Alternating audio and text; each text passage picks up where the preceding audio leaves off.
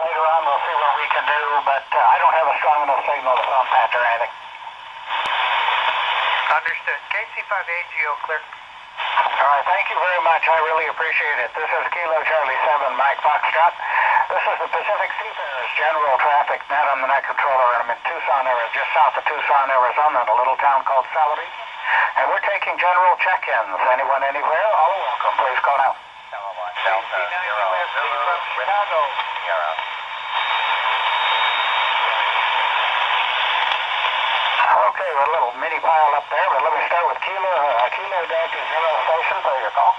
Captain Kilowatt Delta Zero Zulu with Sierra. My name is Boy. I spell Charlie Oscar Yokohama, and we are.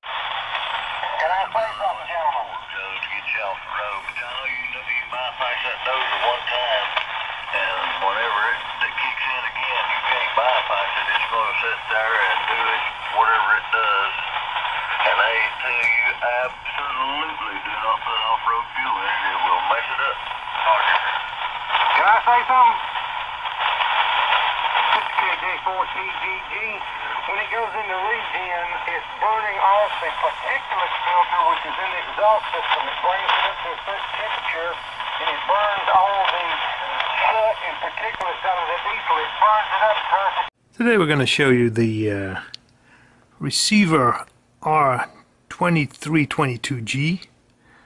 This is a receiver that's part of the uh, AN GRC 215 uh, shelterized radio installation, which is a tactical military radio system that was developed uh, in the 80s and uh, and it was supposed to be installed in the uh, early 90s as a nuclear survivable uh, uh, HF network, mobile network, but uh, that was never rolled out. It was supposed to be rolled out in Europe, which uh, the NATO believed to be the theater for a uh, Russian attack, Soviet attack, I should say, and that obviously ended when the uh, uh, first Cold War was over.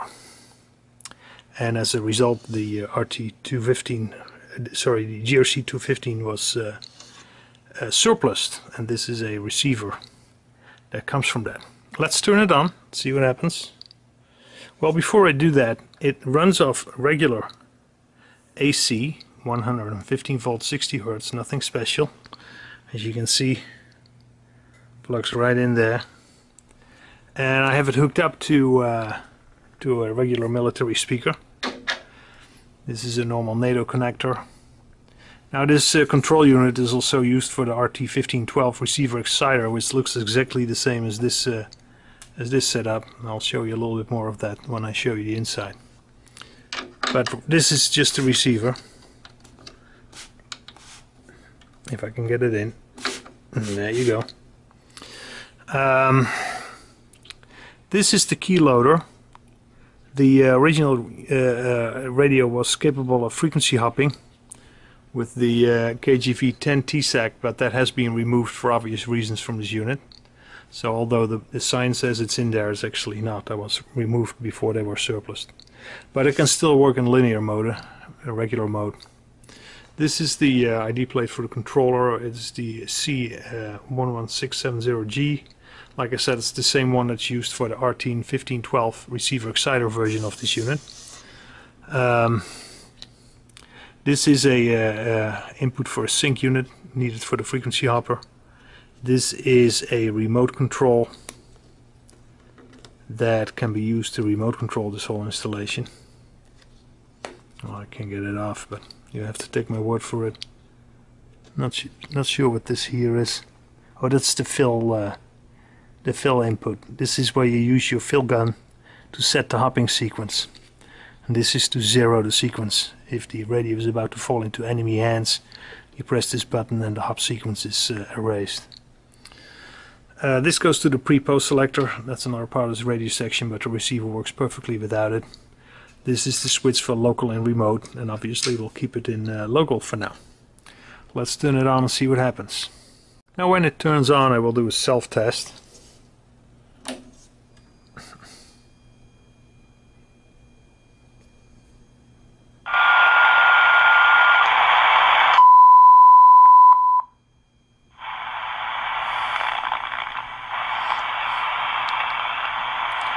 Still working on it.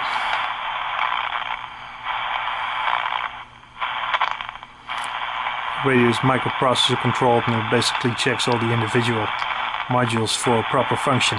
As you see, it passed the uh, it passed the test.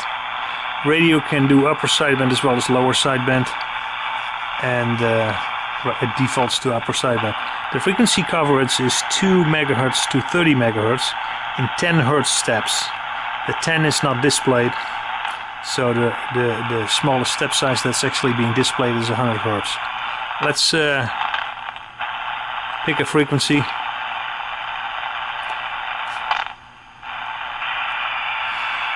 As you can see, uh, we're now on uh, 20 meters. This is where you would expect the uh, Maritime Mobile Service Net. Kind of quiet today. Propagation is uh, is not great, but maybe we'll pick something up later. I don't think there's any memories installed right now. No, you can program those though. Let's say I want to program uh, 14250 and let's program that in memory number 2 and that's what I have programmed now. I can also program uh, the Maritime Mobile Service Net in position number 1 Okay, thank you. You are 57 New and that's what we have now. Very good, Mr. Nick. Uh, got uh, KL7IQQ. Hello, Mr. Larry. Nice signal down here in North Texas. KL2 Papa Mike. Did not hear Richard, which is unfortunate, but by golly, heard Mike. So I can pull up the, uh, SS. Uh, great Independence. Uh, happy 4th of July to all of you up there. The other channel.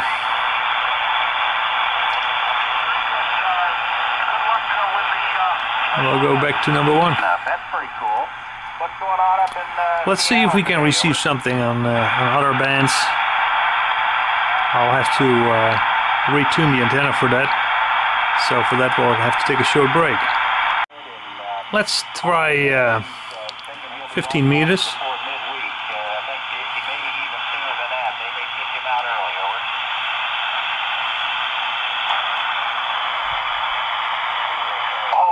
Charlie 2, how the fuck we back?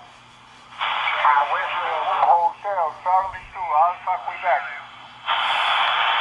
Echo Alpha 5 Delta. Whiskey 1, Kilowatt Sierra Zulu. Seem to have some kind of pile-up going on here.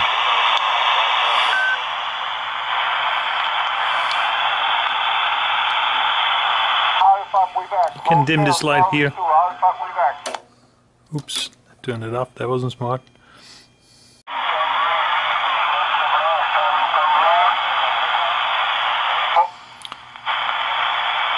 Let's see if there's something going on on the lower bands, 40 meters maybe.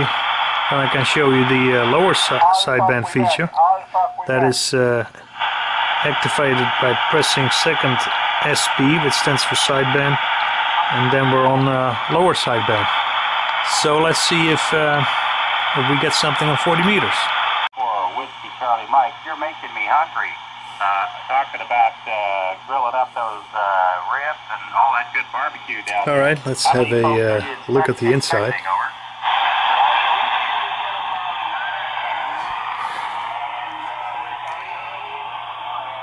As you can see, the uh, inside is built completely modular.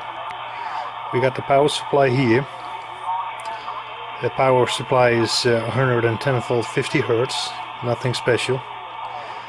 The uh, reference oscillator is here, it's a 10 megahertz reference oscillator. It's also possible to use an external reference source of 10 megahertz.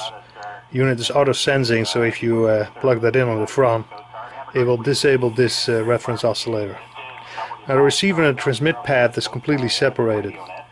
As you uh, know, this is just a receiver, but the chassis is uh, the same as the RT uh, 1512 chassis, which has two more modules, which makes it a receiver exciter.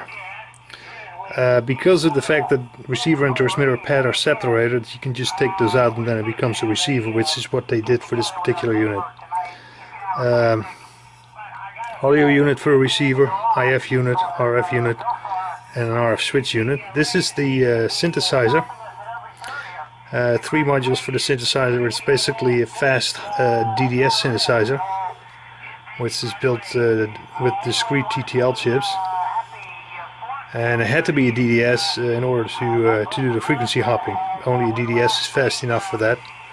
So in the 80s, where this unit was designed, that was uh, pretty unique. You didn't have single chip DDSs yet. As you can see, it's built extremely robust.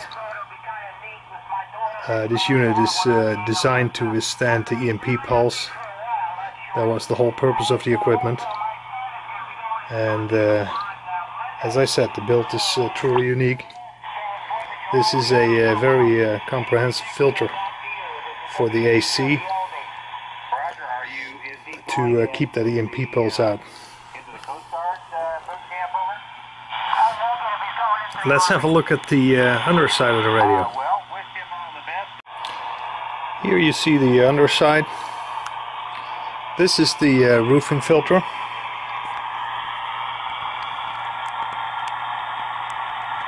Seventy-five megahertz.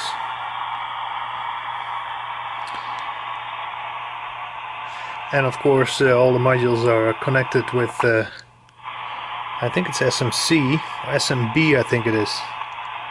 Everything is connected with SMB connectors. Here we got some more filtering and this is basically the motherboard. The uh, synthesizer resides on its own chassis that plugs in here, and these are the input outputs for the uh, synthesizer. Here is the underside of the filter, AC filter, and here is a distribution board. This is all with flex cables. As I said, built to withstand World War III, literally.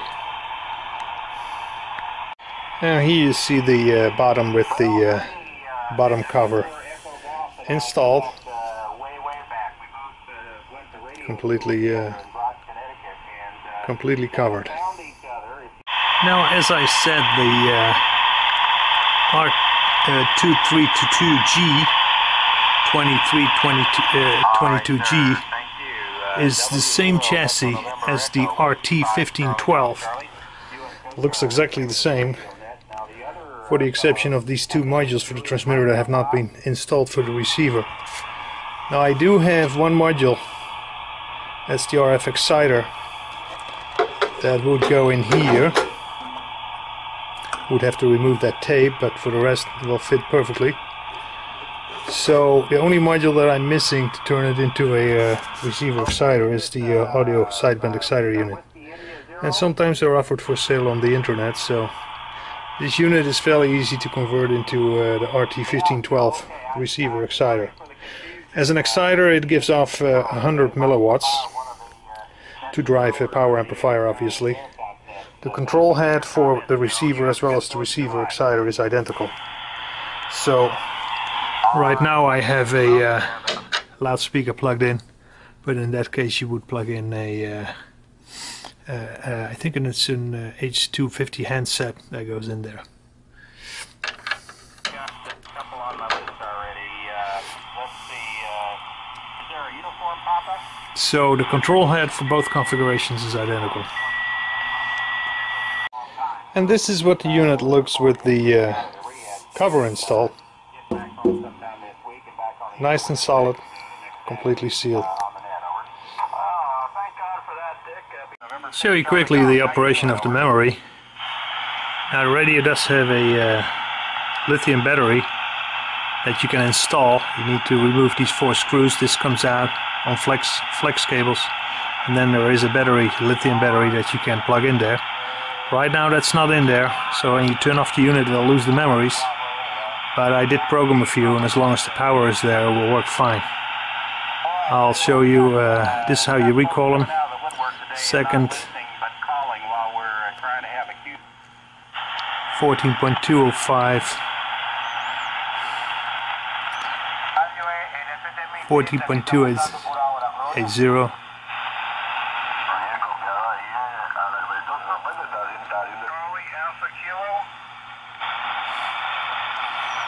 It's pretty easy. For instance, if I want to program number 7, channel 7, uh, memory 7 with, uh, let's say, 14150. First I press the frequency 141500. Second, PST 7. And then that's there. If I now recall another channel, I'm back on here and this is what I just programmed. And you can do that for, uh, I think it has 32 memories, I'm not 100% sure. And like I said, if you uh, put the lithium battery in there, it's, it's one of those larger lithium batteries, it almost looks like a normal battery. And you put that in there, and then it will re uh, retain the memories. Works very simple. And uh, on the second, uh, we had a huge party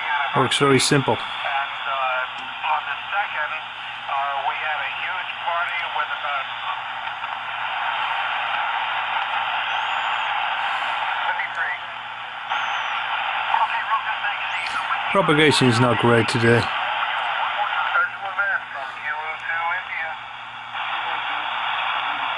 Could take you to a higher frequency, but you won't hear too much there today. Kilo Golf 6 Charlie Oscar. In any case, that's the memories. Okay. 7183.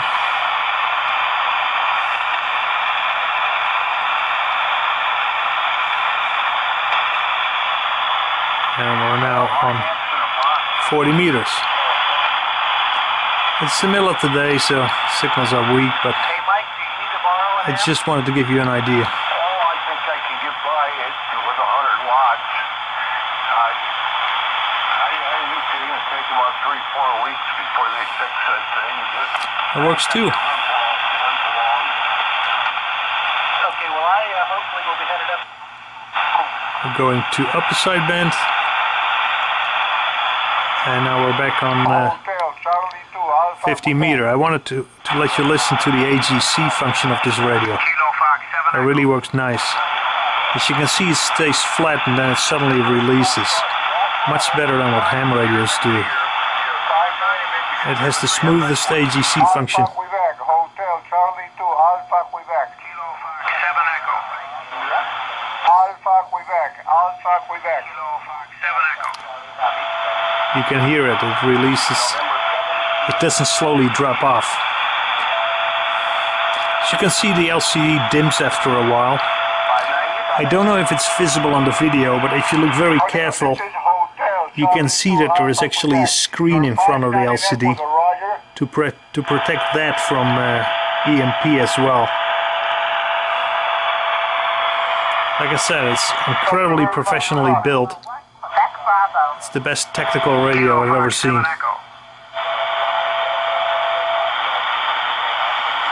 Alright, that's basically it. The uh, receiver R2322G, part of the AN GRC 215 radio installation, which was designed as a uh, Cold War radio to be deployed in Europe. Never happened because the first uh, Cold War ended, but God knows what kind of nice radios we're gonna have with the second Cold War coming up. Thank you for watching this video.